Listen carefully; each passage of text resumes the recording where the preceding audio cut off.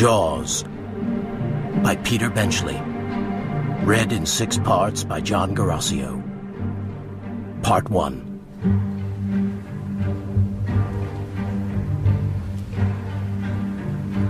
The great fish moved silently through the night water, propelled by short sweeps of its crescent tail. The eyes were sightless in the black. The fish survived only by moving. Once stopped, it would sink to the bottom and die of anoxia.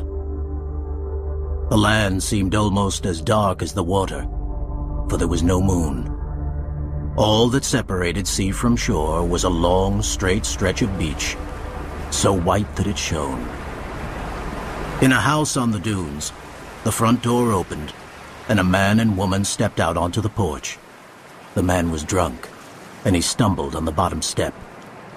You go ahead, he said. I'll wait for you here. The woman rose and walked to where the gentle surf washed over her ankles. The water was colder than the night air, for it was only mid-June. The woman called back. You're sure you don't want to come? But there was no answer from the sleeping man. She backed up a few steps, then ran at the water and continued until it covered her shoulders.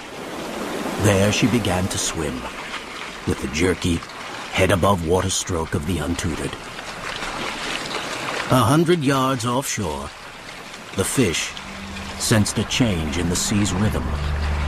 It did not see the woman, nor yet did it smell her. Running within the length of its body were a series of thin canals, filled with mucus and dotted with nerve endings. And these nerves detected vibrations and signaled the brain. The fish turned toward shore. The woman continued to swim away from the beach, stopping now and then to check her position by the light shining from the house. She was tiring, so she rested for a moment treading water and then started for shore. The vibrations were stronger now, and the fish recognized prey. The fish closed on the woman and hurtled past, a dozen feet to the side and six feet below the surface.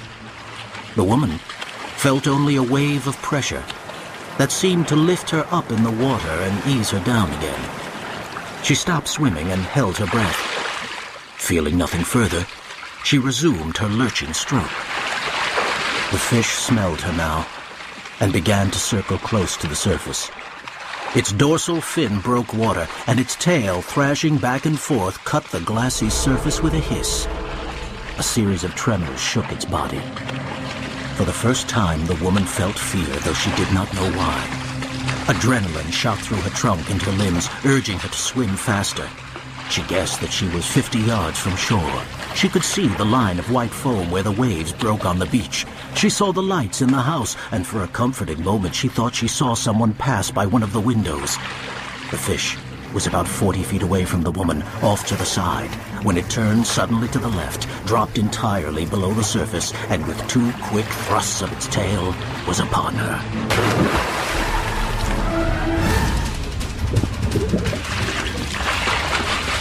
At first, the woman thought she had snagged her leg on a rock or a piece of floating wood. There was no initial pain, only one violent tug on her right leg. She reached down to touch her foot, feeling in the blackness with her left hand. She could not find her foot. She reached higher on her leg, and then she was overcome by a rush of nausea and dizziness. Her groping fingers had found a nub of bone and tattered flesh. She knew that the warm, pulsing flow over her fingers in the chill water was her own blood. Pain and panic struck together. The woman threw her head back and screamed. The fish had moved away. It swallowed the woman's limb without chewing. Bones and meat passed down the massive gullet in a single spasm. Now the fish turned again, homing on the stream of blood flushing from the woman's femoral artery. A beacon as clear and true as a lighthouse. This time the fish attacked from below. It hurtled up under the woman, its jaws agape. The great conical head struck her like a locomotive, knocking her up out of the water. The jaws snapped shut around her torso, crushing bones and flesh and organs into a jelly. The fish, with the woman's body in its mouth, smashed down on the water, spewing foam and blood in a gaudy shower. The water was laced with blood and shreds of flesh. Most of the pieces of the corpse had dispersed. A few sank slowly, coming to rest on the sandy bottom, where they moved lazily in the current.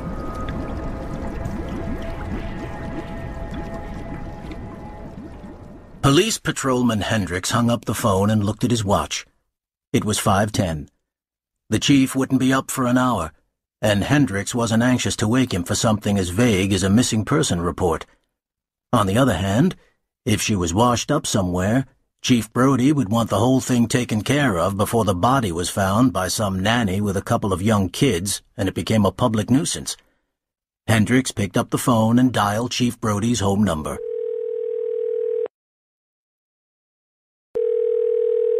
Yeah? Chief, this is Hendricks. I hate to bother you this early, but... What time is it? 5.20. Leonard, this better be good. I think we've got a floater on our hands, Chief. A floater? What in heaven's name is a floater? It was a word Hendricks had picked up from his reading. A drowning, he said. I didn't know if you'd want to check it out before people start swimming. Like I said, Chief, I hate to bother... Yeah, I know, Leonard. You were right to call. As long as I'm awake, I might as well get up. I'll see you later. They drove out in Brody's car. Brody looked up and down the beach. For as far as he could see, more than a mile in both directions, the beach was empty. Clumps of seaweed were the only dark spots on the white sand. Let's take a walk, he said. Hendricks started eastward. Ahead of him, he saw a clump of weed and kelp that seemed unusually large. When he reached the clump, he stopped. For a few seconds he stared, frozen rigid. Snarled within the clump of weed was a woman's head, still attached to shoulders, part of an arm, and about a third of her trunk.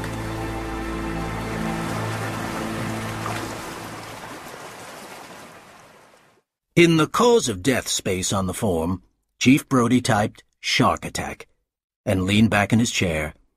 Now, he intended to close the beaches for a couple of days to give the shark time to travel far away from the Amity shoreline. He was determined to deprive the fish of any more people. This time, he wanted publicity to make people fear the water and stay away from it. He dialed Meadows' number. Hey, Harry, he said. Free for lunch? When Brody arrived, Meadows was standing beside his desk. About the dead woman, Brody said. I have a couple of thoughts. I do too, said Meadows. I called a young guy I know up at the Woods Hole Oceanographic Institute. I described the body to him, and he said it's likely that only one kind of shark would do a job like that. What kind? A great white. There are others that attack people, but this fellow Hooper, Matt Hooper, told me that to cut a woman in half like that, you'd have to have a fish with a mouth like this. He spread his hands about three feet apart. And the only shark that grows that big and attacks people is the great white.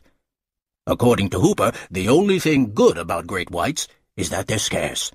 There's every reason to believe that the shark that attacked the Watkins girl is long gone. Seems to me, Martin, that there's no reason to get the public all upset over something that's almost sure not to happen again.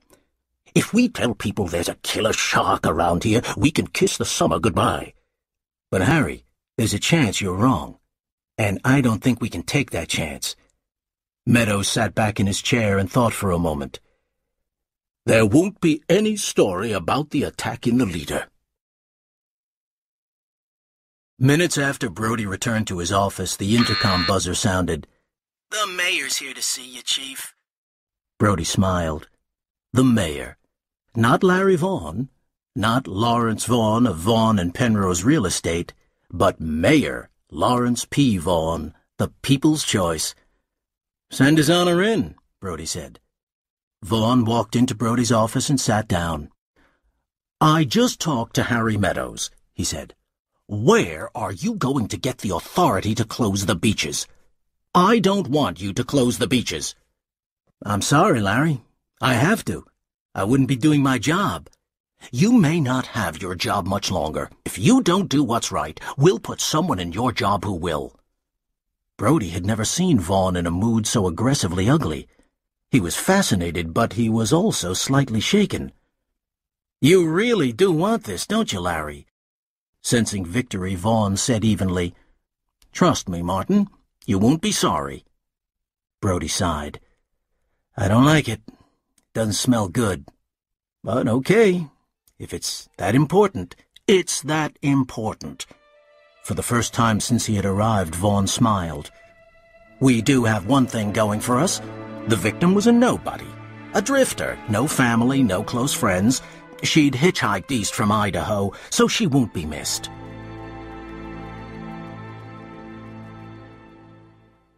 Brody arrived home a little before five. Ellen was in the kitchen, still dressed in the pink uniform of a hospital volunteer. Her hands were immersed in chop meat, kneading it into a meatloaf. What was the crisis? she said, turning her head so Brody could plant a kiss on her cheek. You were at the hospital. You didn't hear? No. Today was Bay the Old Ladies' Day. I never got off the Ferguson wing.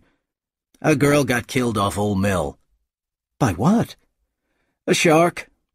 Brody reached into the refrigerator and found a beer. Ellen stopped kneading meat and looked at him.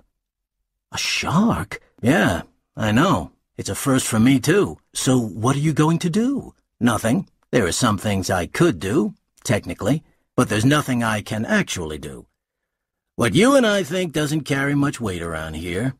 The powers that be are worried that it won't look nice if we get all excited just because one stranger got killed by a fish.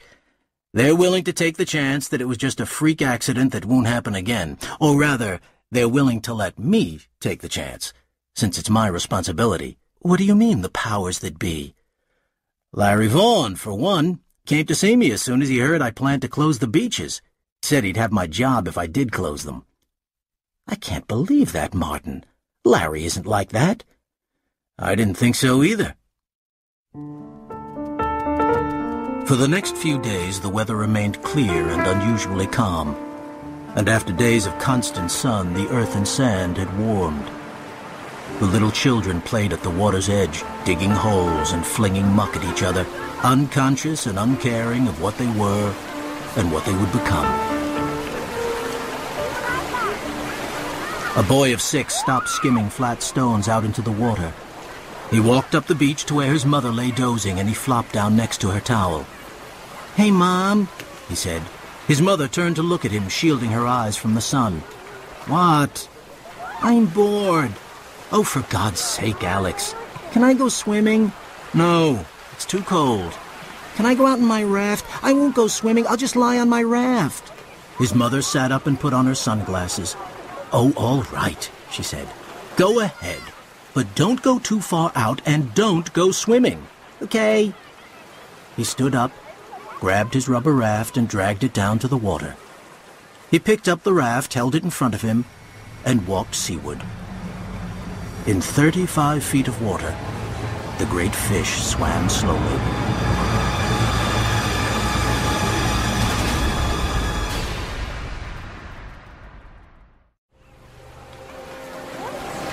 A boy of six grabbed his rubber raft and dragged it down to the water. He picked up the raft, held it in front of him, and walked seaward. When the water reached his waist, he leaned forward. His feet and ankles hung over the rear of the raft. He moved out a few yards, then turned and began to paddle up and down the beach. Though he didn't notice it, a gentle current carried him slowly offshore. Fifty yards farther out, the ocean floor dropped precipitously. The water was 15 feet deep where the slope began to change. Soon, it was 25, then 40, then 50 feet deep. In 35 feet of water, the great fish swam slowly, its tail waving just enough to maintain motion.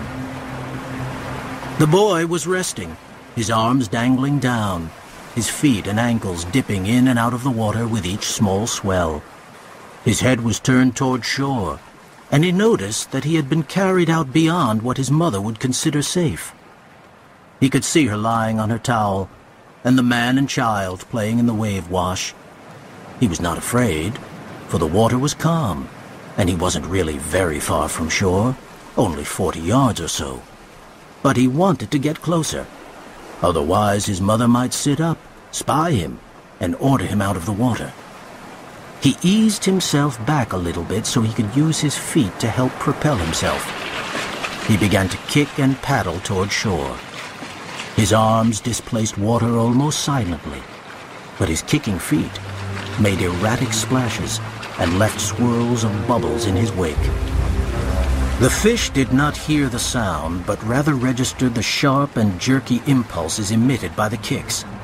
They were signals, faint but true, and the fish locked on them, homing.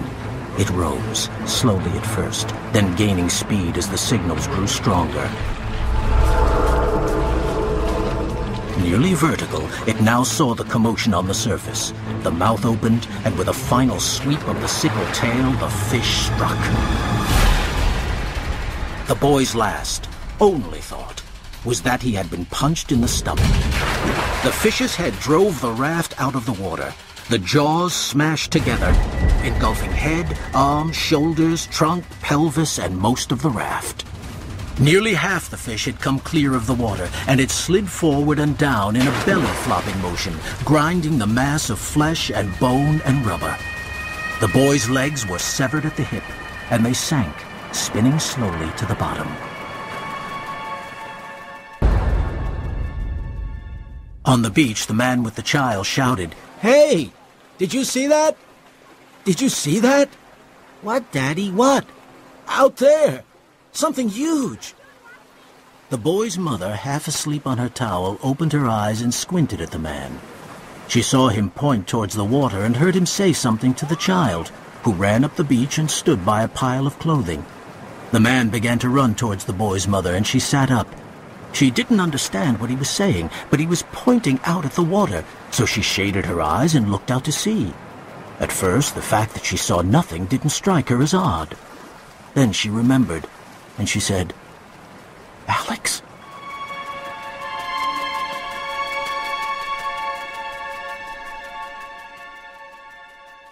Police Chief Brody was having lunch at home with Ellen. The phone rang. It's Bigsby, Chief said the voice from the station house. What is it, Bigsby? I think you better come down here. I've got this hysterical woman on my hands, Chief. What's she hysterical about? Her kid, out by the beach. A twinge of unease.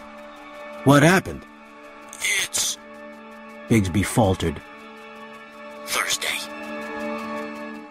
I'll be right there. What is it? asked Ellen. A kid just got killed. How? By a goddamn shark. No. If you had closed the beaches... She stopped, embarrassed. Yeah, said Brody. I know. The city edition of the New York Times lay in the center of Brody's desk. Brody read the headline, Shark Kills Two on Long Island.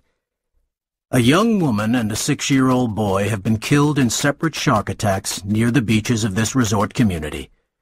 Asked why he had not ordered the beaches closed until the marauding shark was apprehended, Chief Brody said, Close the Amity beaches, and people would just drive up to East Hampton and go swimming there. And there's just as good a chance that they'd get killed in East Hampton as in Amity. After yesterday's attack, however, Chief Brody did order the beaches closed until further notice. Later that morning, when Brody entered his office through a side door, the boy's mother stood there, clutching a handkerchief. She walked up to Brody. What can I do for you, Mrs. Kintner? The woman slapped the newspaper across his face. What about this?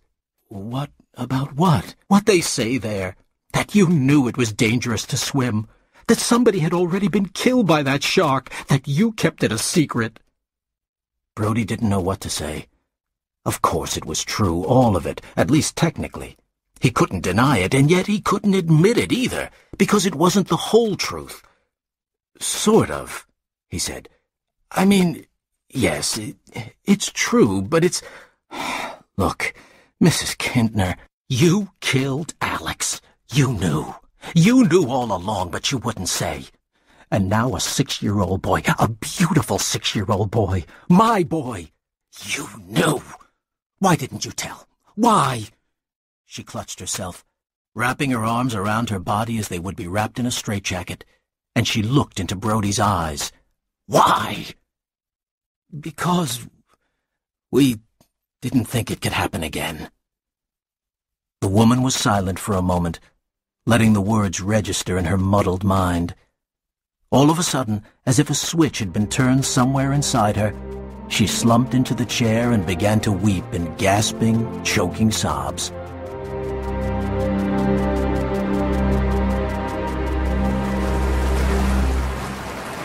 Brody sat on the public beach, his elbows resting on his knees to steady the binoculars in his hands. When he lowered the glasses, he could barely see the boat, a white speck that disappeared and reappeared in the ocean swells. Hey, Chief, Patrolman Hendricks said, walking up to Brody. Hey, Leonard. What are you doing here? I was just passing by and I saw your car. What are you doing? Trying to figure out what the hell Ben Gardner's doing. Fishing, don't you think? That's what he's being paid to do. But it's the damnedest fishing I ever saw. I haven't seen anything move on that boat in an hour. Can I take a look? Brody handed him the glasses. Hendricks raised them and looked out to sea. No, you're right. How long has he been out there? All day, I think. You want to go see? We've got at least two more hours of daylight. How do you plan to get out there? I'll borrow Chickering's boat. That'll get us out there. Brody felt a shimmy of fear skitter up his back. He was a very poor swimmer, and the prospect of being on top of, let alone in, water above his head gave him what his mother used to call the wimwams. Sweaty palms, a persistent need to swallow, and an ache in his stomach. Okay, he said. I don't guess we've got much choice. You go get the boat ready. I'll stop off at headquarters and give his wife a call. Hendricks was standing in the boat, the engine running. What did she say? He asked as Brody approached. Not a word. She's been trying to raise him for half an hour, but she figures he must have turned off the radio. Pretty strange, to turn off your radio when you're out alone. People don't do that. Let's go, Leonard. You know how to drive this thing?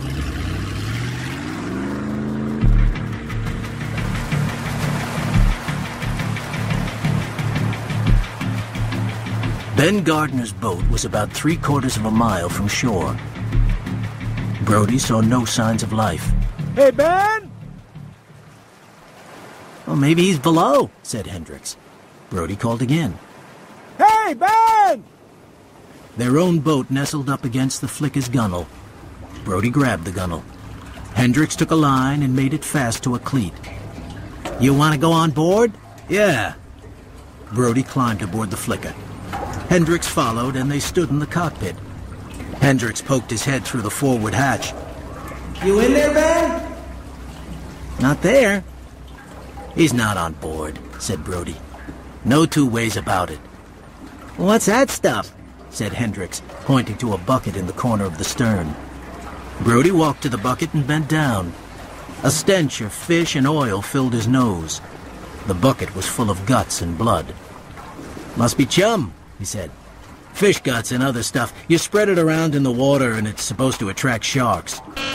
A sudden noise made Brody jump. Whiskey Zebra Echo 259er. Uh, this is the Pretty Bell. You there, Jake? So much for that theory, said Brody. He never did turn off his radio. I don't get it, Chief. There are no rods. He didn't carry a dinghy, so he couldn't have rowed away. He swam like a fish, so if he fell overboard, he would have just climbed back on. Brody felt something strange and looked down. There were four ragged screw holes where a cleat had been. The screws had obviously not been removed by a screwdriver. The wood around the holes was torn. Look at this, Leonard. Hendricks ran his hand over the holes. He looked to the port side where a 10-inch steel cleat still sat securely on the wood. You imagine that what was here was as big as the one over there? he said. What in hell's name would it take to pull that mother out? Then, a pattern began to take shape. a pattern of holes, deep gouges in the wooden transom, forming a rough semicircle more than three feet across. And at the bottom of the transom, just at the waterline, three short smears of blood. Please God, thought Brody. Not another one. Come here, Leonard. Hendricks walked to the stern and looked over. What? If I hold your legs, you think you can lean over and take a look at those holes down there and try to figure out what made them? What do you think made them? I don't know. That's something. I want to find out what. Come on. If you can't dope it out in a minute or two, we'll forget about it and go home. Okay? I guess so. Hendricks lay on top of the transom. Hold me tight, Chief. Please. Brody leaned down and grabbed Hendricks's feet. He took one of Hendricks's legs under each arm and lifted. Hendricks rose, then bent over the transom. Okay, said Brody. A little more. Okay, that's it. Hendricks began to examine the holes. What if some shark came along right now? He could grab me right out of your hands. Don't think about it. Just look. I'm looking. In a few moments, he said, Wow! Look at that thing. Hey, pull me up. Brody stepped backward, hoisting Hendricks to the deck. Let's see, he said, holding out his hand. Into Brody's palm, Hendricks dropped a triangle of glistening white denticle. It was nearly two inches long. The sides were tiny saws. Brody scraped the tooth against the gunwale, and it cut the wood. He looked out over the water and shook his head. My God, he said. It's a tooth, isn't it? said Hendricks. You think the shark got Ben? I don't know what else to think, said Brody. He looked at the tooth again, then dropped it into his pocket. We might as well go. There's nothing we can do here.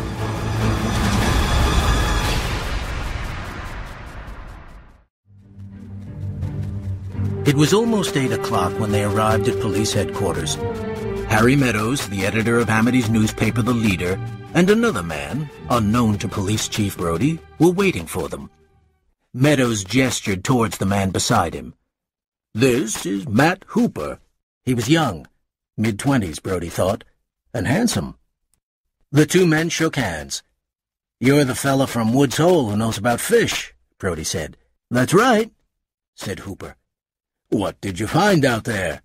Meadows asked. We found this, said Brody. He flipped the tooth to Hooper, who turned it over in his hand. It's a white, said Hooper. How big? Fifteen, twenty feet.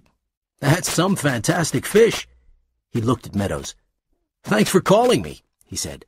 I could spend a whole lifetime around sharks and never see a fish like that. Do you have any thoughts about what happened? Meadows asked. From what the chief says, it sounds like the fish killed Mr. Gardner. How? said Brody. Any number of ways. Gardner might have fallen overboard. More likely, he was pulled over. He could even have been taken while he was leaning over the stern. Well, how do you account for the teeth in the stern? The fish attacked the boat. Do you have any idea why he's hung around here so long? It's impossible to say. It's definitely uncharacteristic. Right now, anyway, that's as good an answer as I've got. Well, that's encouraging, said Brody. Is there anything you plan to do to get an answer? I'll try to find that shark, which reminds me, is there a boat available? Yes, I'm sorry to say, said Brody. Ben Gardner's. We'll get you out to it tomorrow. Brody looked into Hooper's eyes and said, I want that fish killed. If you can't do it, we'll find someone who can. Brody turned to Meadows. What about it, Harry? Isn't there any fisherman on this whole damn island equipped to catch big sharks? Meadows thought for a moment. There may be one. I don't know much about him, but I think his name is Quint. I can find out a little more about him if you like. Why not? said Brody. He sounds like a possible. Hooper said, Look, Chief, trying to get retribution against a fish is crazy. Listen, you. Brody was growing angry, an anger born of frustration and humiliation. The fish was an enemy. It had come upon the community and killed a man, a woman, and a child. The people of Amity would demand the death of the fish. They would need to see it dead before they could feel secure enough to resume their normal lives. Most of all, Brody needed it dead, for the death of the fish would be a catharsis for him. Hooper had touched that nerve, and that infuriated Brody further. But he swallowed his rage and said, Forget it. The phone rang. It's for you, Chief. Mr. Vaughn. Oh, swell. That's just what I need. He hadn't yet forgiven Vaughn for persuading him to keep open the beaches. He picked up the receiver. Yeah, Larry. Hello, Martin. How are you? As well as could be expected, Larry. You're working pretty late. I tried to get you at home. Yeah, well, when you're the chief of police and your constituents are getting themselves killed every 20 minutes, that kind of keeps you busy. I heard about Ben Gardner. You're sure it was the shark again? Nothing else seems to make any sense. Martin, what are you going to do? That's a good question, Larry. We're doing everything we can right now. We've got the beaches closed down. We've... I'm aware of that, to say the very least. What's that supposed to mean? Have you ever tried to sell healthy people real estate in a leper colony? No, Larry. I haven't had a new customer in here since Sunday. So what do you want me to do? What would you say to opening the beaches just for the 4th of July weekend? Not a chance. Not a stinking chance. Now listen. No, you listen, Larry. The last time I listened to you, we had two people killed. If we catch that fish, if we kill the son of a bitch, then we'll open the beaches. Until then, forget it. Martin, for God's sake, man, this town is dying. I know it, Larry. And as far as I know, there's not a damn thing we can do about it. Good night. He hung up the phone. Ellen was sitting up in bed reading Cosmopolitan. Tough day, she said. A tough day. You heard about Ben Gardner? Yes, it's so horrible. What do you think Sally will do? I don't know. Have you made any progress? You mean about catching that damn thing? No. Meadows called that oceanographer friend of his down from Woods Hole, so he's here. Not that I see what good he's gonna do. What's he like? He's all right, I guess. He's young. Decent-looking guy. He's a bit of a know-it-all, but that's not surprising. He seems to know the area pretty well. What's his name? Hooper. Not David Hooper? No, I think his name is Matt. Oh, only I went out with a David Hooper a long time ago, and I remember... But before she could finish the sentence, her eyes shut, and soon she slipped into the deep breathing of sleep. On Friday noon, Brody's wife Ellen stopped at Amity Hardware and went inside. What can I do for you? Said Albert Morris. The rubber nozzle in my kitchen sink is all cracked, said Ellen. I want to get a new one. This what you had in mind? Perfect. As he rang up the sale on the register, Morris said, Lots of people upset about this shark thing. They think the beaches ought to be opened up again. Well, I... You ask me. I think your Martin's doing right. I'm glad to know that, Albert. Maybe this new fella can help us out. Who's that? This fish expert from up Massachusetts. Oh, yes, I heard he was in town. He's right here. Just then, Ellen heard footsteps on the stairs. She turned and saw Hooper coming through the door. He walked over to the counter, smiled politely at Ellen, and said to Morris, These'll do fine. He handed Morris a twenty-dollar bill. Ellen looked at Hooper, trying to define her reminiscence.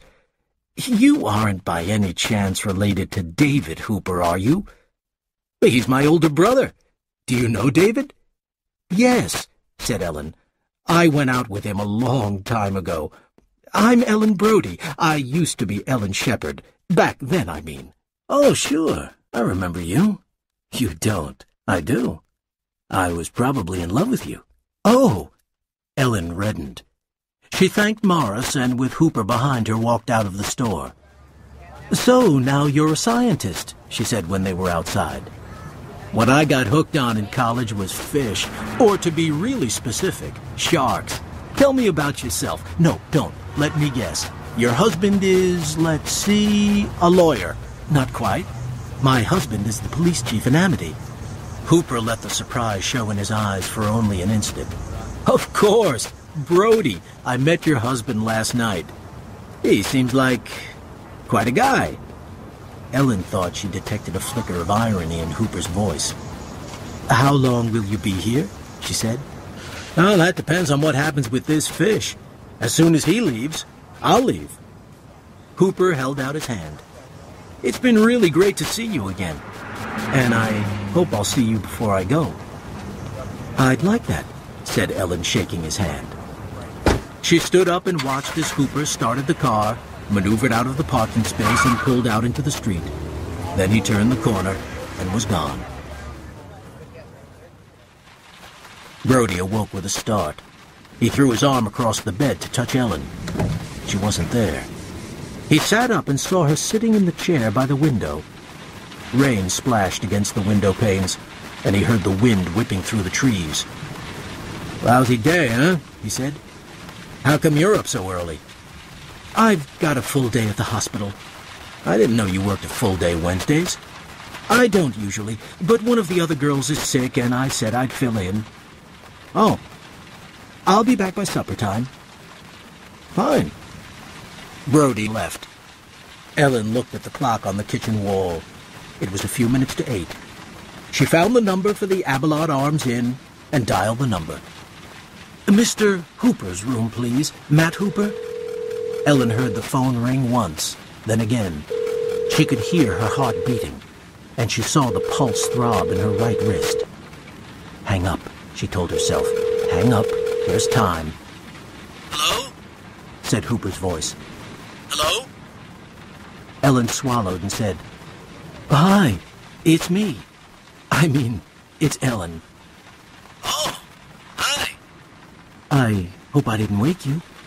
Not a very nice day, is it? I was wondering if there was any chance you'd like to, if you're free for lunch. Lunch? You mean you and the chief and me? No, just you and I. I mean, if you've got a lot of work to do, No, no, that's okay. Heck, why not? What did you have in mind? Well, there's a wonderful place up in Sag Harbor, the Banners. I could meet you there whenever you like.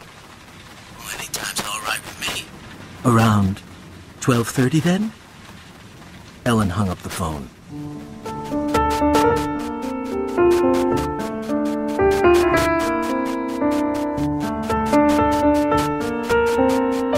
Ellen arrived back home a little before 4.30.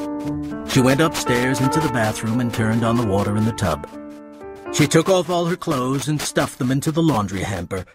She looked in the mirror and examined her face and neck. No marks. After her bath, she powdered herself, brushed her teeth, and gargled with mouthwash. She went into the bedroom, put on a fresh pair of underpants and a nightgown, pulled back the bedclothes, and climbed into bed. She closed her eyes, hoping that sleep would pounce upon her. But sleep could not overpower a memory that kept sliding into her mind. It was a vision of Hooper, eyes wide and staring as he approached climax.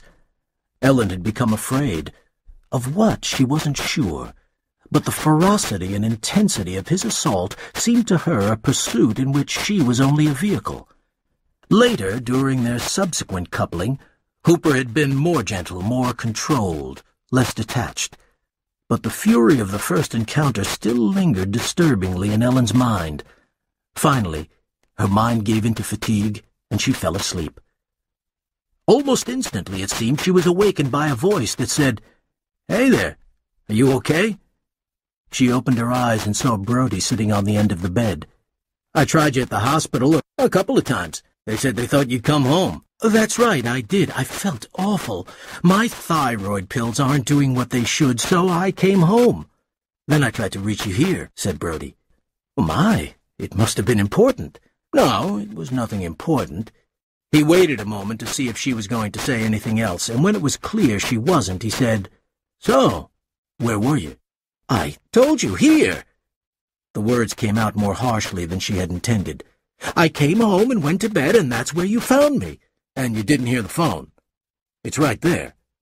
Brody pointed to the bed table near the other side of the bed. No, I... I took a pill. The moaning of the damned won't wake me after I've taken one of those pills. Have you heard from Hooper? Brody said. Ellen said, He called this morning. Why? I tried to get a hold of him today, too. Around midday and a couple of times during the afternoon. The hotel said they didn't know where he was. What time did he call here? Just after you left for work. Did he say what he was going to be doing? He said... He said he might try to work on the boat, I think. I really don't remember. Well, that's funny. What is? I stopped by the dock on my way home. The harbor master said he hadn't seen Hooper. All day.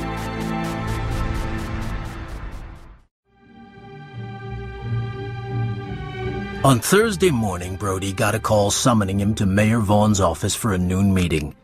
He knew what the subject of the meeting was opening the beaches for the 4th of July weekend that would begin the day after tomorrow. Brody was convinced opening the beaches would not be a solution or a conclusion. It would be a gamble that Amity and Brody could never really win. They would never know for certain that the shark had gone away. They would be living from day to day, hoping for a continuing draw. And one day, Brody was sure, they would lose. As soon as he was inside the office, Brody knew he would be fighting alone. When everyone was seated, Vaughn said, You all know why we're here. And I guess it's safe to say that there's only one of us that needs convincing about what we should do. You mean me, said Brody. Vaughn nodded. Look at it from our point of view, Martin. The town is dying. People are out of work. Stores that were going to open aren't. People aren't renting houses, let alone buying them, and every day we keep the beaches closed, we drive another nail into our own coffin. We're saying this town is unsafe, stay away from here, and people are listening.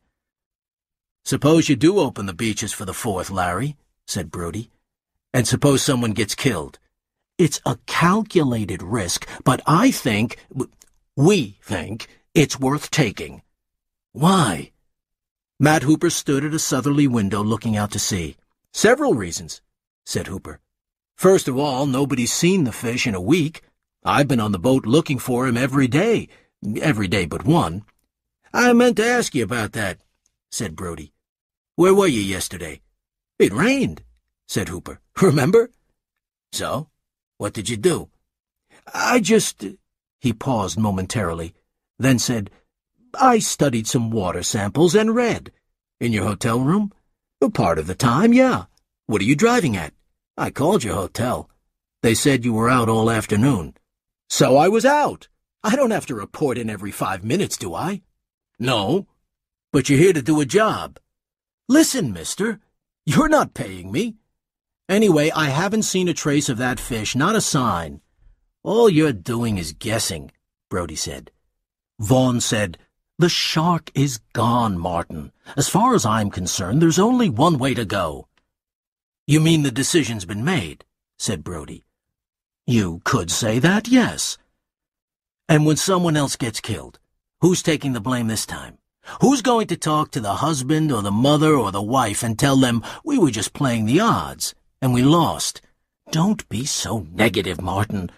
When the time comes, if the time comes, and I'm betting it won't, We'll work that out then. All right. But if I open the beaches, I'm going to do it my way. I'm going to post men out there, and I'm going to have Hooper patrol in the boat, and I'm going to make sure every person who comes down there knows the danger. You can't do that, Vaughn said. You might as well leave the damn things closed. I can do it, Larry, and I will.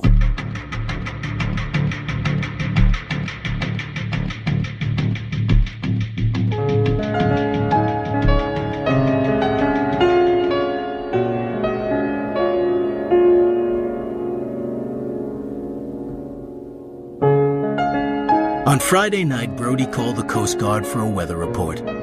He knew he should wish for beautiful weather for the three-day holiday weekend. It would bring people to Amity, and if nothing happened, if nothing was sighted, by Tuesday he might begin to believe the shark had gone. Then there'd be no reason for the marine biologist to hang around. Brody wanted Matt Hooper to leave Amity and go back to his home in Woods Hole. He sensed that somehow Hooper had come into his home, There was that business on Wednesday when Ellen had said she was sick, came home early from work. But where had Hooper been that day? Why had he been so evasive when Brody had asked him about it? For the first time in his married life, Brody was wondering, and the wondering filled him with an uncomfortable ambivalence. Self-reproach for questioning Ellen, and fear that there might actually be something to wonder about. Brody had said he would call Hooper as soon as he talked to the Coast Guard. He was standing at the kitchen phone. Ellen was washing the supper dishes. Brody knew Hooper was staying at the Abelard Arms. He saw the phone book buried beneath a pile of bills, notepads, and comic books on the kitchen counter. He started to reach for it, then stopped. I have to call Hooper, he said. You know where the phone book is? It's 6543, said Ellen. What is? The Abelard. That's the number, 6543. How do you know? I have a memory for phone numbers. You know that. I always have. He did know it and he cursed himself for playing stupid tricks. He dialed the number. Abelard Arms? It was a male voice, young, the night clerk. Matt Hooper's room, please. You don't happen to know the room number, sir? No. Brody cupped his hand over the mouthpiece and said to Ellen, You don't happen to know the room number, do you? She looked at him, and for a second she didn't answer. Then she shook her head. The clerk said, Here it is. 405. The phone rang twice before Hooper answered. This is Brody. Yeah. Hi. Brody faced the wall, trying to imagine what the room looked like. He conjured visions of a small, dark garret, a rumpled bed, stains on the sheets, the smells of rut. He felt briefly that he was going out of his mind. I guess we're on for tomorrow, he said. The weather report is good. Yeah, I know. Then I'll see you down at the dock. What time? 9.30, I guess. Nobody's gonna go swimming before then. Okay, 9.30. Brody hung up the phone and turned to Ellen. I think it's time you got some sleep. Why do you say that? That's the second time you've washed that glass.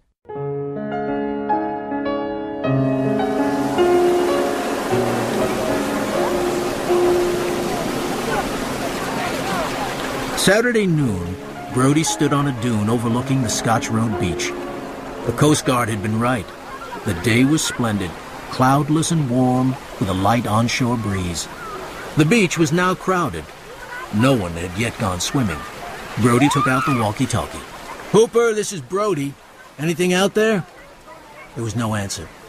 This is Brody calling Hooper. Can you hear me? Sorry, I was out on the stern of the boat. I thought I saw something. What did you see? Can't really describe it. A shadow, maybe, nothing more. The sunlight can fool you. I'll be in front of the public beach in a minute or two. Brody had become so accustomed to the far-off, barely audible hum of the Flicker's engine that it was as integral a part of the beach as the wave sound. Suddenly, the engine's pitch changed from a low murmur to an urgent growl. Brody saw the boat in a tight, fast turn. He put the walkie-talkie to his mouth and said, You see something, Hooper? Brody saw the boat slow, then stop. Yes. What was that shadow again? There's a kid swimming out there. Where? Thirty, maybe forty yards out. I think I'd better tell him to come in. Hey out there! Come on in! The boy did not hear the call. He was swimming straight away from the beach. Brody said into the walkie-talkie, Hooper, he doesn't hear me. You want to toot in here and tell him to come ashore? Sure. I'll be there in a minute.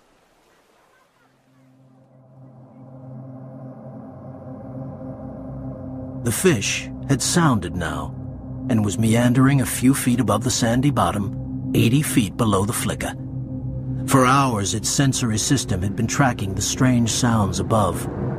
Twice the fish had risen to within a yard or two of the surface, allowing sight and smell and nerve canals to assess the creature passing noisily overhead. Twice it had sounded, compelled neither to attack nor move away. Brody saw the boat, which had been facing westward, swing toward shore and kick up a shower of spray from the bouncing bow. below. The fish turned, banking as smoothly as an airplane, and followed the receding sound. It took Hooper only 30 seconds to cover the couple of hundred yards and draw near the boy. The boy heard the engine and he raised his head. What's the matter? Nothing, said Hooper. Keep swimming. The boy lowered his head and swam. A swell caught him and moved him faster, and with two or three more strokes he was able to stand. The water was up to his shoulders and he began to plod toward shore. Come on, said Brody. Hooper put the boat in reverse to back away from the waves. As he looked off the stern, he saw a silver streak moving in the gray-blue water. And even when the realization struck, he did not see the fish clearly. He cried, Look out! What is it? The fish!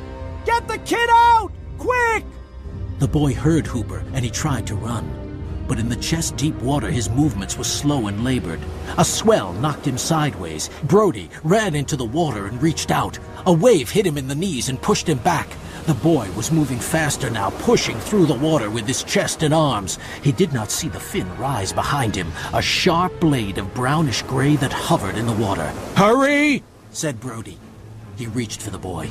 The boy's eyes were wide and panicked. His nostrils flared, bubbling with mucus and water. Brody's hand touched the boy's and he pulled. He grabbed the boy around the chest, and together they staggered out of the water.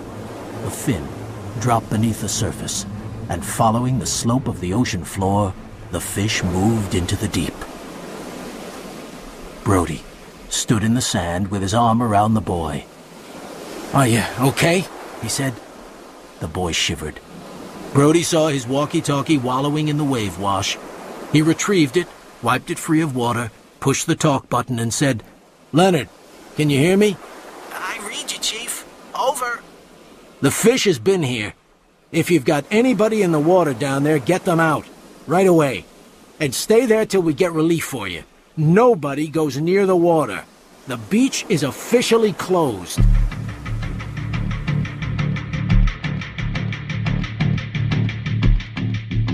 At six o'clock, Brody sat in his office with Hooper. Brody took a phone book from the top drawer of his desk and opened it to the Q's. He ran his finger down the page and dialed the number. Quint, said a voice. Mr. Quint, this is Martin Brody. I'm the chief of police over in Amity. We have a problem. I've heard. The shark was around again today.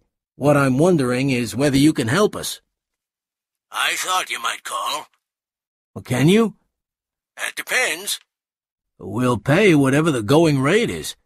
My everyday rate's two hundred a day. But this is special. I think you'll pay double. Brody paused. Okay, he said finally. I guess we don't have any choice. No, you don't. Can you start tomorrow? Nope. Monday's the earliest. And there's one more thing. I'm gonna need a mate. Brody looked across his desk at Hooper. The last thing he wanted was to spend days on a boat with Hooper, especially in a situation in which Hooper would outrank him in knowledge if not authority. Brody cupped his hand over the mouthpiece and said to Hooper, Do you want to come along? He needs a mate. Yes, said Hooper. I'll probably live to regret it, but yes, I want to see that fish, and I guess this is my only chance. Brody said to Quint, Okay, I've got your man. Does he know boats? He knows boats, Monday morning, said Quint. six o'clock.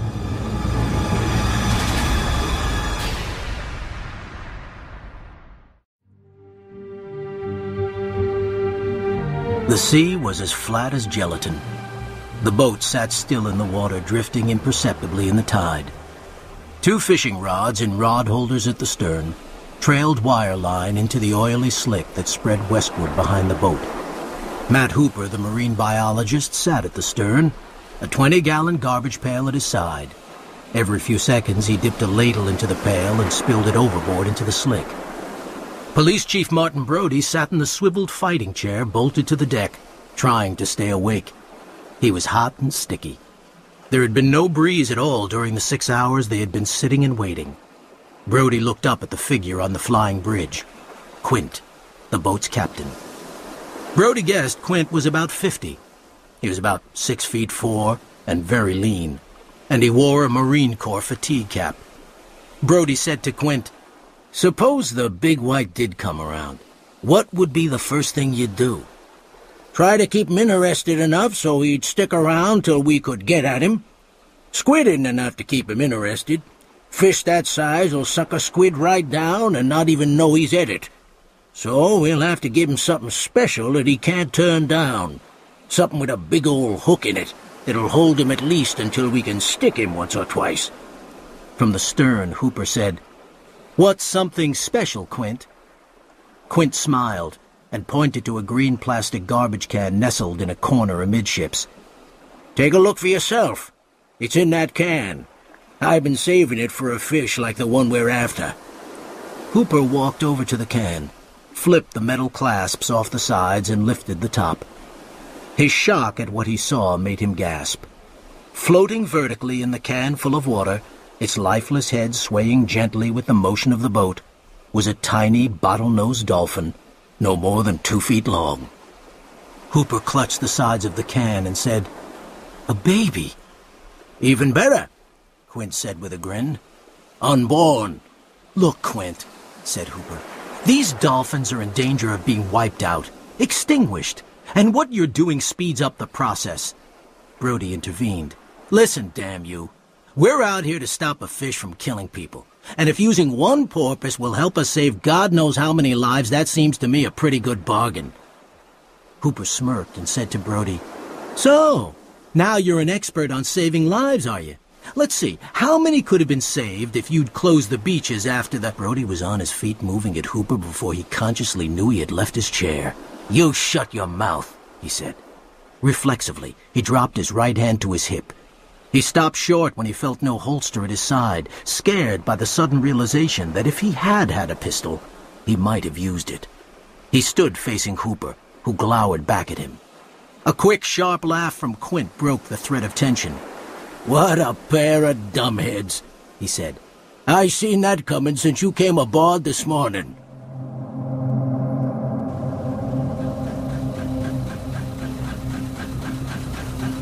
The second day of the hunt was as still as the first. When they left the dock at six in the morning, a light southwest breeze was blowing, promising to cool the day. The passage around Montauk Point was choppy, but by ten the breeze had died, and the boat lay motionless on the glassy sea, like a paper cup in a puddle. Brody did not want to have to fill time with conversation. Conversation that might lead to a repeat of yesterday's scene with Hooper.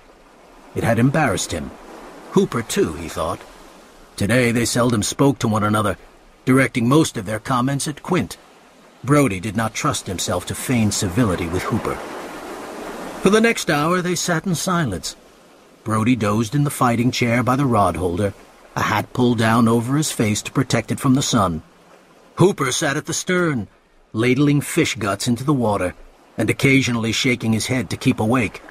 And Quint sat on the flying bridge, watching the slick, his Marine Corps cap tilted back on his head. Suddenly, Quint said, We've got a visitor. Brody snapped awake. Hooper stood up. The starboard line was running out smoothly and very fast. Take the rod, Quint said. Brody took the rod out of the holder, fitted it between his legs, and held on. When I tell you, said Quint, you throw that brake and hit him. The line stopped running. Wait, He's turning. He'll start again. Don't want to hit him now or he'll spit the hook. But the line lay dead in the water, limp and unmoving. After several moments, Quint said, I'll be goddamned. Reel it in. Brody cranked the line in. It came easily. Too easily. There was not even the mild resistance of the bait. Whatever that was took the bait gentle as you please, Quint said. Must have kissed it off the line. The line came clear of the water and hung at the tip of the rod.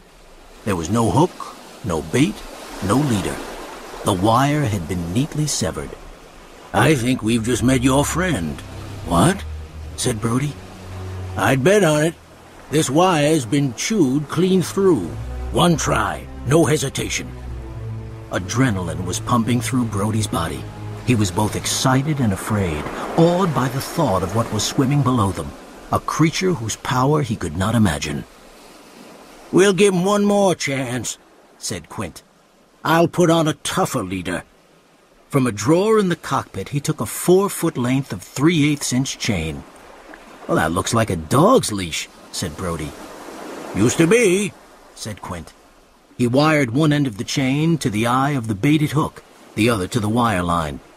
Can he bite through that? I imagine so. All I'm trying to do is goose him a little and bring him to the surface. Quint flipped the bait hook overboard and fed out a few yards of line. Come on, you bugger, he said. Let's have a look at you. The three men watched the port line. Hooper bent down. Something caught his eye and made him turn. My God. No more than ten feet off the stern, slightly to the starboard, was the flat, conical snout of the fish.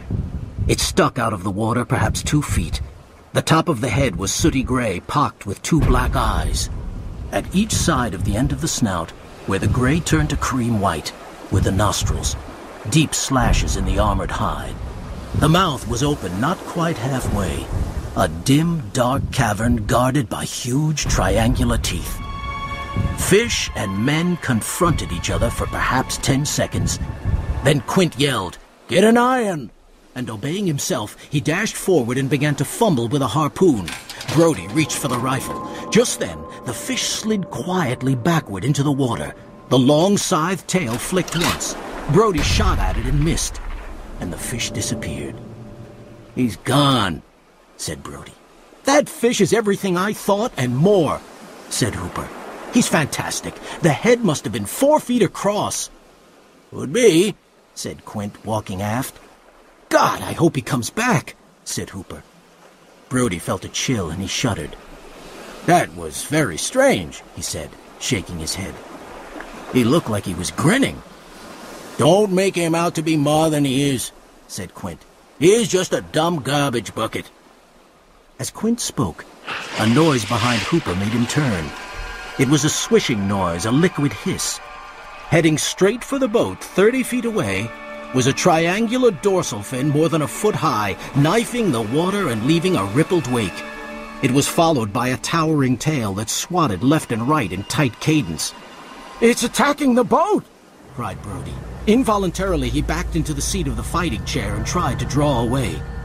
The fish was almost at the boat. It raised its flat head, gazed vacantly at Hooper with one of its black eyes, and passed under the boat. Quint raised the harpoon and turned back to the port side. The throw pole struck the fighting chair, and the dart disappeared and fell to the deck. Your side! Your side! yelled Hooper. He's past this side already! Quint turned back in time to see the gray-brown shape of the fish as it pulled away from the boat and began to dive. He dropped the harpoon and, in a rage, snatched up the rifle and emptied the clip into the water behind the fish. Bastard, he said. He looked at Brody and said, Gave you a bit of a start. More'n a bit, said Brody. They waited for three more hours, but the fish never returned. At a little after five, Quint said, We might as well go in. I guess I can't blame you, said Brody. Your wife must like it better, too, having you home. Quint said flatly. Got no wife. I never saw the need for one. He turned and climbed the ladder to the flying bridge. The next day of the hunt was as still as the first. Quint stood with his back to his boat. Brody and Hooper stood on each side of an aluminum cage, the cage was slightly over six feet tall and six feet wide and four feet deep. What the hell is it anyway? said Quint. It's a shark cage, said Hooper. Divers use them to protect themselves when they're swimming in the open ocean. And what do you plan to do with it? When we find the fish, or when the fish finds us, I want to go down in the cage and take some pictures. Not a chance, said Quint. Not on my boat. Hooper said to Quint, I'll pay you. Oh, yeah? How much? Forget it, said Brody. I don't care what Quint says. I say you're not bringing that thing along. Hooper ignored him and said to Quint, A hundred dollars. Cash. He reached into his back pocket for his wallet. I said no, said Brody. What do you say, Quint? He counted five twenties and held them out to Quint. Quint reached for the money and said, Hell, I don't suppose it's my business to keep a man from killing himself if he wants to. And if the cage doesn't go, said Hooper, I don't go. Hmm, fine by me, said Brody. Stay here and play around with your fish. That's not all I'll play around. Oh, forget it. For several seconds, a leaden silence fell over the three men. Brody stared at Hooper, then suddenly he was overcome by rage. He reached Hooper in two steps, grabbed both sides of his collar, and rammed his fists into Hooper's throat. What was that? he said. What did you mean by that? Nothing, I tell you. I, I was angry. It was something to say. Where were you last Wednesday afternoon? Brody twisted his fists tighter. In a motel! Now let me go! Brody eased his grip. With who? he said, praying to himself. God, don't let it be Ellen. Let his alibi be a good one. Daisy Wicker! You can check with her yourself. I will check, said Brody. You can count on it. Well, what do you say? said Quint. We going today or not? Either way, Brody, it'll cost you.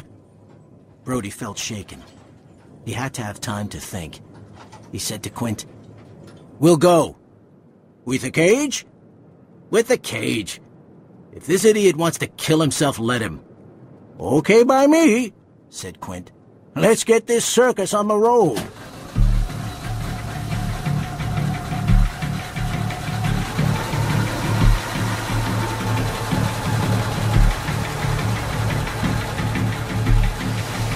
Gradually, as the boat fell into the rhythm of the long ocean swells, Brody's fury dulled. Maybe Hooper was telling the truth. It was possible. By ten o'clock, a breeze had come up, not strong, but fresh enough to ripple the water and cool the men, who sat and watched and said nothing. I'm gonna have a beer, said Brody, and started to climb the stairs, when he heard Quint's flat, calm voice say, There he is. Brody felt his pulse speed up. He stepped quickly onto the deck and said, Where? Right there, said Quint. Dead off the stern.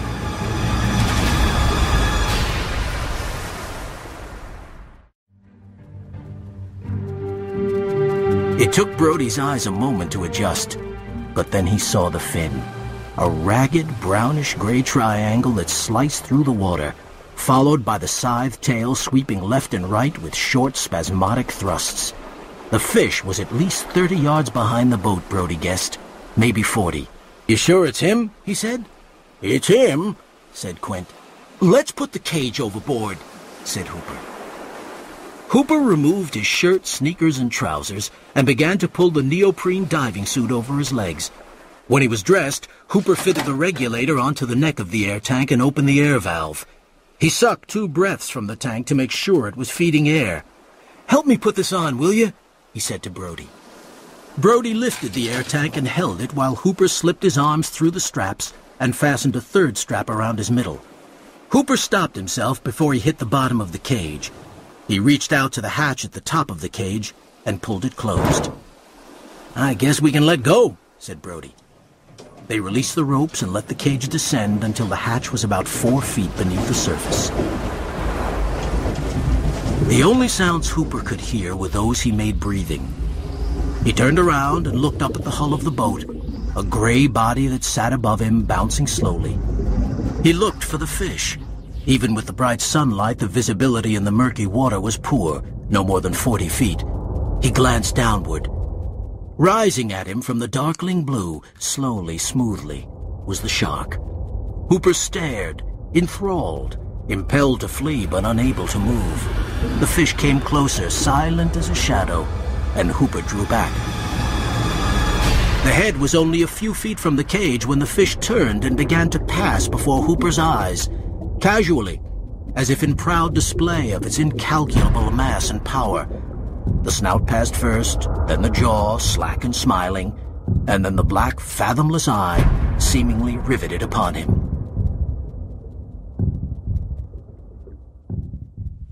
What the hell is he doing down there? said Brody. Why didn't he jab him with the gun? Quint didn't answer. He stood on the transom, harpoon clutched in his fist. Through the viewfinder of his camera, Hooper saw the fish turn towards him. Hooper raised his right hand to change the focus.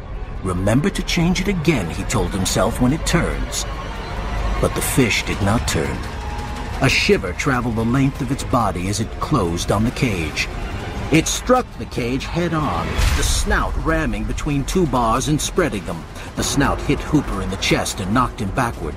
The camera flew from his hands and the mouthpiece shot from his mouth. The fish turned on its side, and the pounding tail forced the great body farther into the cage. Hooper groped for his mouthpiece but couldn't find it. His chest was convulsed with the need for air. It's attacking! screamed Brody. He grabbed one of the tether ropes and pulled, desperately trying to raise the cage. God damn your soul! Quint shouted. Gotta get him on the surface. Come up, you devil! The fish slid backward out of the cage and turned sharply to the right in a tight circle. It was then that Hooper saw the wide gap in the bars and saw the giant head lunging through it. He raised his hands above his head, grasping at the escape hatch. The fish rammed through the space between the bars, spreading them still farther with each thrust of its tail. Hooper, flattened against the back of the cage, saw the mouth reaching, straining for him. The fish thrust again, and Hooper saw with the terror of doom that the mouth was going to reach him. The jaws closed around his torso. Hooper felt a terrible pressure as if his guts were compacted. He jabbed his fist into the black eye. The fish bit down. And the last thing Hooper saw before he died was the eye gazing at him through a cloud of his own blood. He's got him! cried Brody. Do something! The man is dead, Quint said. How do you know? We may be able to save him. He's dead. It's coming up, said Brody. Grab the rifle. Quint cocked his hand for the throw. The fish broke water 15 feet from the boat, surging upward in a shower of spray. Hooper's body protruded from each side of the mouth, head and arms hanging limply down one side, knees, calves, and feet from the other. Brody reached for the rifle, and Quint cast the harpoon. The target was huge, a field of white belly, and the distance was not too great for a successful throw above water. But as Quint threw, the fish began to slide down in the water, and the iron went high. For another instant, the fish remained on the surface, its head out of the water, Hooper hanging from its mouth. Shoot! Quint yelled. For God's sake, shoot! Brody shot without aiming. The first two shots hit the water in front of the fish. The third, to Brody's horror, struck Hooper in the neck. The fish might never have been there. The water was calm. The only difference was that Hooper was gone. What do we do now? said Brody. What in the name of God can we do now? Quint said, I don't think we'll have to wait that long. He uncovered a sheep he had been saving for bait, tied a rope around its neck and lay it on the gunwale. He slashed its stomach and flung the animal overboard, letting it drift 20 feet from the boat before securing the rope to an aftercleat. Okay, now let's see how long it takes. The sky had lightened to full gray daylight, and in ones and twos the lights on the shore flicked off. Brody's butt was sore from sitting on the hard transom. Suddenly, he saw the monstrous head of the fish not five feet away. So close he could reach over and touch it, black eyes staring at him, silver gray snout pointing at him, gaping jaw grinning at him. Oh, God, Brody said. There he is! Quint was down the ladder and at the stern in an instant. As he jumped onto the transom, the fish's head slipped back into the water and a second later slammed into the transom. The jaws closed on the wood and the head shook violently from side to side. Brody grabbed a cleat and held on, unable to look away from the eyes. The boat shuddered and jerked each time the fish moved its head. Quint slipped and fell to his knees on the transom. The fish let go and dropped beneath the surface, and the boat lay still again. He was waiting for us, said Brody. It don't matter, said Quint. We got him now. We've got him. Did you see what he did to the boat? Eh, give it a mighty good shake, didn't he? The rope holding the sheep tightened, shook for a moment, then went slack. Quint stood and picked up the harpoon. He's took the sheep. The dorsal fin and tail surfaced ten yards to the right of the stern and began to move again towards the boat. There you come, said Quint. There you come. He stood, legs spread, left hand on his hip, right hand extended to the sky, grasping the harpoon. When the fish was a few feet from the boat and heading straight on, Quint cast his iron. The harpoon struck the fish in front of the dorsal fin. Quint jumped to his feet and cried, Got ya, you devil! The boat lurched once and again, and there was the distant sound of crunching. Has he done any damage? said Brody. Some. We're riding a little heavy aft. He probably poked a hole in us. There's nothing to worry about. We'll pump her out. That's it then, Brody said happily. Not quite. Look. He's chasing us? Quint nodded. Why? He can't still think we're food. No, he means to make a fight of it, and it's a fight he'll get. He picked up the harpoon. Excitement had returned to his face. Okay, he called. Come and get it. Brody saw the flat plane of gray pass along the starboard side of the boat, six feet beneath the surface. He's here, heading forward. The fish hit the bow head on with a noise like a muffled explosion. Quint cast his iron. It struck the fish atop the head, over the right eye, and it held fast. What do you think? Is he dead? I doubt it, but he may be close enough to it for us to throw a rope round his tail and drag him till he drowns. Quint took a coil of rope from one of the barrels in the bow. He tied one end to an after cleat. The other end he tied into a noose. He climbed onto the gunwale, ran the rope through a pulley at the top of the gin pole and down the pole to the winch. He flipped the starter switch. As soon as the slack in the rope was taken up, the boat heeled hard to starboard, dragged down by the weight of the fish. Can that winch handle him? said Brody. Suddenly, the rope started coming too fast. It fouled on the winch, coiling in snarls. The boat snapped upright. Rope break? Damn it, no, said Quint. And now Brody saw fear in his face. Damn fish is coming up! He dashed to the controls and threw the engine into forward. But it was too late. The fish broke water right beside the boat. It rose vertically, and in an instant of horror, Brody gasped at the size of the body. The fish landed on the stern of the boat with a shattering crash, driving the boat beneath the waves. Water poured in over the transom. In seconds, Quint and Brody were standing in water up to their hips. The fish lay there, its jaw not three feet from Brody's chest. The body twitched, and in the black eye, as big as a baseball, Brody thought he saw his own image reflected. God damn your black soul, screamed Quint. He grabbed the harpoon dart at the end of the rope and with his hand plunged it into the soft white belly of the fish. Blood poured from the wound and bathed Quint's hands. The boat was sinking. The stern was completely submerged and the bow was rising. The fish rolled off the stern and slid beneath the waves. The rope attached to the dart Quint had stuck into the fish followed. Suddenly, Quint lost his footing and fell backward into the water. The knife! He cried, lifting his left leg above the surface, and Brody saw the rope coiled around Quint's foot. Brody could not move fast enough. He watched in helpless terror as Quint, reaching towards him with grasping fingers, eyes wide and pleading, was pulled slowly down into the dark water. For a moment there was silence, except for the sucking sound of the boat slipping gradually under. A seat cushion popped to the surface next to him, and Brody grabbed it.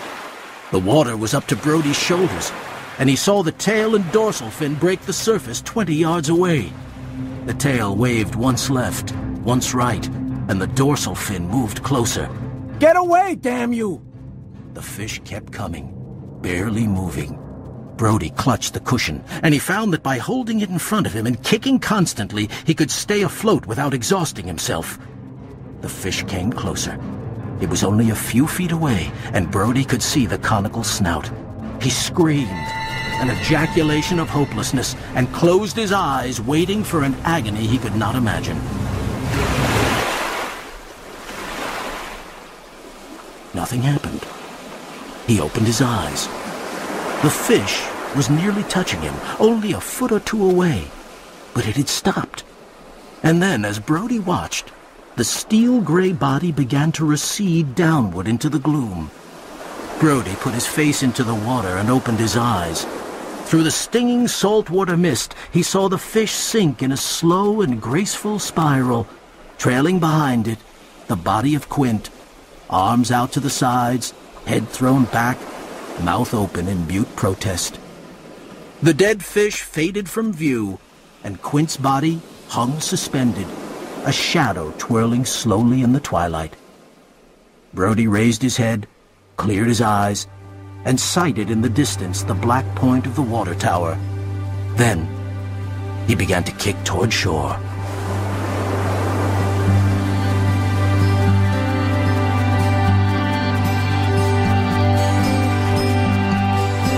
Jaws by Peter Benchley, read by John Guerrasio, and abridged and directed by John Taylor, was a Fiction Factory production.